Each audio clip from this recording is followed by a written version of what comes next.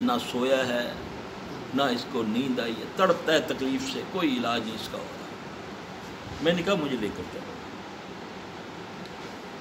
کہتے، میں جب گیا، اس کی حالت دیکھی، تڑپ گیا میں۔ اس کا مطلب ہے کہ جب تڑپ کے دعا کی جاتی کسی کے لیے بغیر کسی مقصد کے، وہ دعا قبول پیسوں سے دعائیں قبول نہیں ہوتی۔ اسے ایسے دینے سے، ایسے لینے سے دعائیں نہیں ہوتی۔ یہ یاد رکھیں۔ اب وہ یہی لفظ کہتے ہیں۔ اللہم یا علیم یا حلیم یا علی یا عظیم اے اللہ، اس کے کان سے کنکر نکال دے۔ کہتے تھوڑی دیر ہوئی، اس کو ایک جھٹکا سا لگتا ہے، تو اس کی کنکر کان سے باہر آ جاتی ہے اس خون سے سو جاتا اچھا جس دن میں نے یہ پڑھا، میں اپنی بات بتا رہا ہوں۔ میں نے کیا کیا؟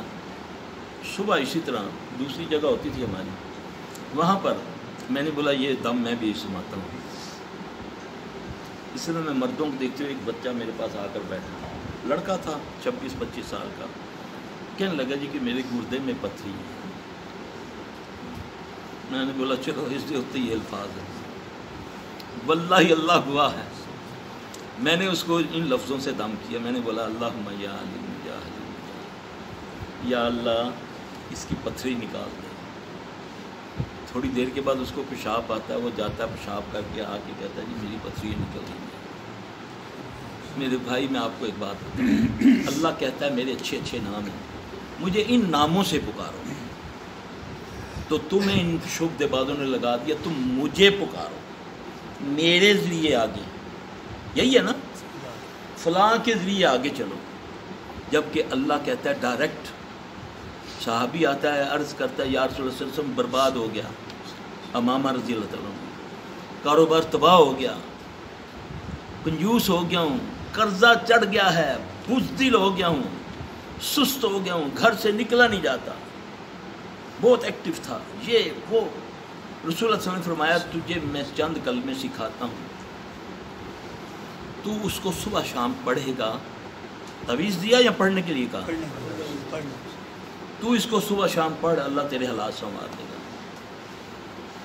اب مجھے یہ بتائیں کہ نبی صلی اللہ علیہ وسلم نے اس کو اپنا کہا یا اللہ کہا؟ اور آپ نے اس کو جو دعا سکھائی، کیا سکھائی؟ اللہ اس کا معنی کیا ہے؟ اے اللہ، یہاں تو فوٹویں دے رہا نا پیر۔ یہ میری تصویریں لے جاؤ، گھر میں لگا لینا۔ جہاں کبھی تکلیف ہو، میرا نام اس کے سامنے لے لینا۔ وہ لانتی کے بچے، وہ تو تیرا ساتھی ہے۔ وہ تو تیرا ساتھی ہے۔ جب تیرا نام لے گا، خاندان کا اس نے برباد کرنا، عقیدہ۔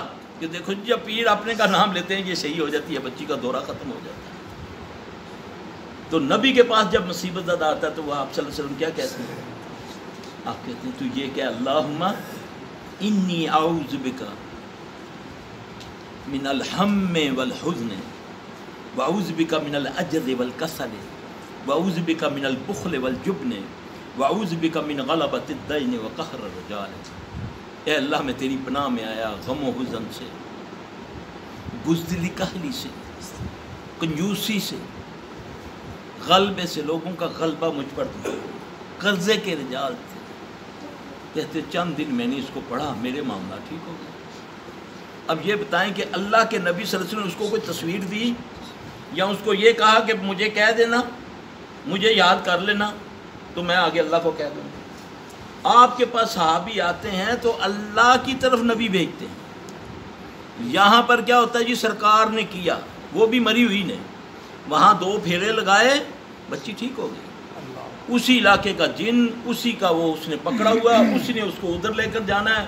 اس نے اس کو چکر لگانے، چند دن کے بعد وہ ٹھیک ہو، چند منٹوں کے بعد وہ ٹھیک ہو جائے گی۔ عقیدہ کیا بنا؟ اللہ نہیں ٹھیک کر سکتا، یہ بابا مرا ہوا ٹھیک کر۔ دیا اس نے تمہارے لوگوں کا عقیدہ برباد کر کے رکھ دیا۔ جبکہ وہ اللہ جس نے شفا اپنی طرف اپنے پاس رکھی۔ نبی علیہ السلام کو تین بیٹے اللہ نے دیے، تینوں کے تینوں لے گیا۔ نبی صلی اللہ علیہ وسلم نہیں بچا سکے کیا آپ نے دعا نہیں کی ہوگی؟ شفا کی ہوگی کہ نہیں؟